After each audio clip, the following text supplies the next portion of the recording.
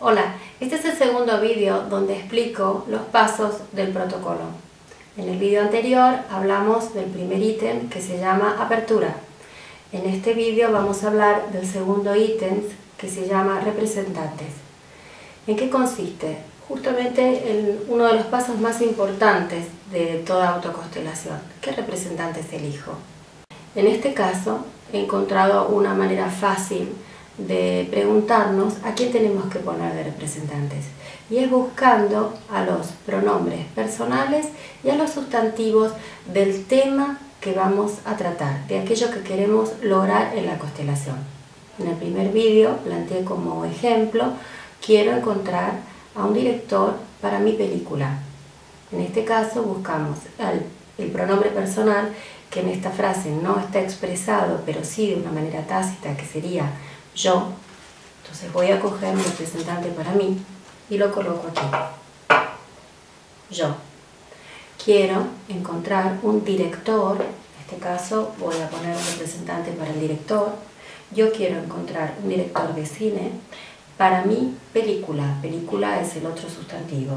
Y en este caso la película está representada por otro de los muñecos. Como les conté en algunos de los vídeos anteriores, este es el material con el cual yo trabajo.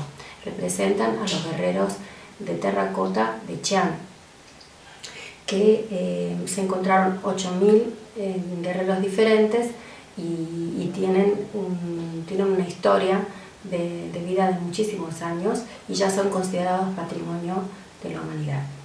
Así que tenemos aquí formados un triángulo y como vamos a ver, esta, esta forma geométrica, cuando aparece en una constelación con muñecos, para mí, a través de la experiencia de tantos años de aplicar este método con pacientes y con alumnos, tiene una significación determinada.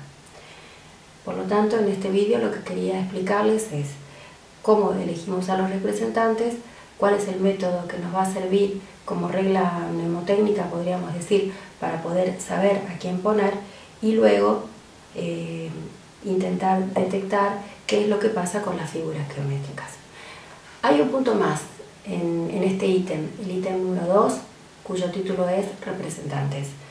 Y es la figura del espectador. Así que voy a buscar a alguien que represente a la figura del espectador.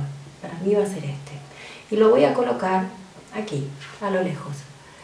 ¿Por qué coloco una figura del espectador? Porque he tenido algunas constelaciones, casos con con pacientes en los que he descubierto que muchas veces es muy difícil para la persona aceptar aquello que ve.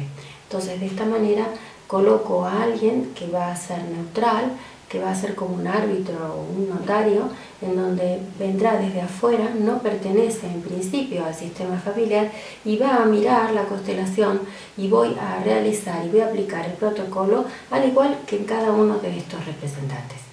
Mientras tanto va a estar afuera y va a ver qué es lo que sucede con la constelación. Aquí lo dejamos y los espero en el próximo vídeo para continuar con los ítems del protocolo de autoconstelaciones. Muchas gracias.